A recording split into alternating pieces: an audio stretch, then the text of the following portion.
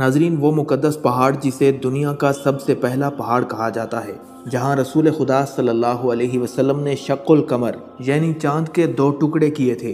इस पहाड़ की तारीख क्या है? आज की वीडियो में हम आपको जबल अबू कुबैस के बारे में इंतहाई अहम मालूम फराहम करेंगे। नाजरीन, मक्का मुकरमा के मशहूर पहाड़ों में से एक जबल अबू कुबैस है, जो मस्जिद हराम के मशरक में वाक़ है। इस पहाड़ के बारे में कहा जाता है कि ये ज़मीन पर पहला पहाड़ है। जो अल्लाह तबारक व ताली ने कुर्र अर्ज़ पर तख्लीक फरमाया। इस पहाड़ से खाना काबा वाज नज़र आता है और काबा शरीफ के सेहन, यानी मताफ में खड़े होकर जबल अबू कुबैस को बसानी देखा जा सकता है। इसी तरह हरम शरीफ से बाहर आकर भी इस पहाड़ का नज़ारा किया जा सकता है। इसे ज़मान जाहलीत में अल अमीन कहा जाता था। चूँकि खाना काबा पहाड़ों से घिरा हुआ है, इसलिए जबल अबू कुबैस पर चढ़कर चाँद देखा जाता था। नाजरीन, जबल अबू कुबैस शर्फ व बुजुर्गी वाला एक पहाड़ है जो सफ़ा व मरवा की जानब वाक़ है, जहाँ से सई की इब्तदा होती है। इस पहाड़ का नाम कबीला मुजहज के एक शख्स के नाम पर है, जिसकी कुनियत अबू कुबैस थी।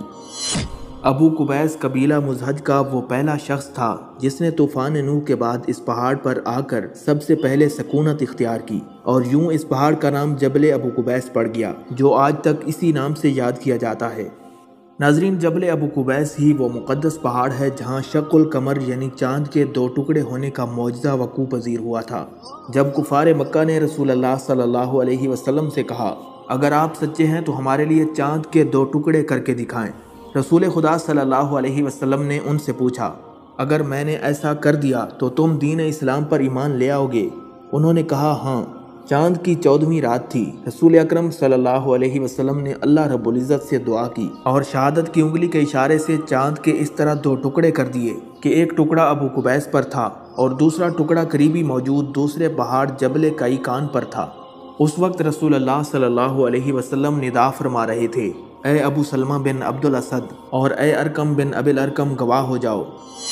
नाजरीन जबल अबू कुबैस नामी इस मुक़दस पहाड़ को ये शर्फ हासिल है कि यहाँ दुआएँ कबूल होती हैं। अहले मक्का खुश्क साली के मौके पर इस पहाड़ पर आकर दुआ मांगते थे तो बारिश हो जाया करती थी। हदीस पाक में है कि हजर असवद जन्नत से जबल अबू कुबैस पर नाजिल किया गया था, और तूफ़ान नूह के दौरान हजर असवद जबल अबू कुबैस पर ही मौजूद रहा। एक रिवायत के मुताबिक काबे शरीफ की तामीर के मौके पर इस पहाड़ ने हज़रत सैदना इब्राहीम आसमाम को पुकार कर अर्ज़ की, हजर असवद इधर मौजूद है। नाजरीन, आज से 50-60 साल कबल इस पहाड़ पर एक मस्जिद मौजूद थी, जिसे मस्जिद हिलाल कहा जाता था। लेकिन अब यहाँ मस्जिद मौजूद नहीं है।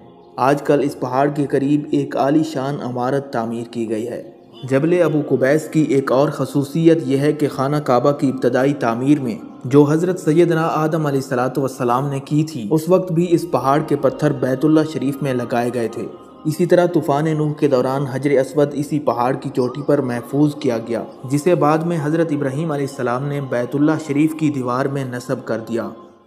नाजरीन, इसी उम्मीद के साथ इजाज़त दीजिए कि आपको हमारी वीडियो पसंद आई होगी।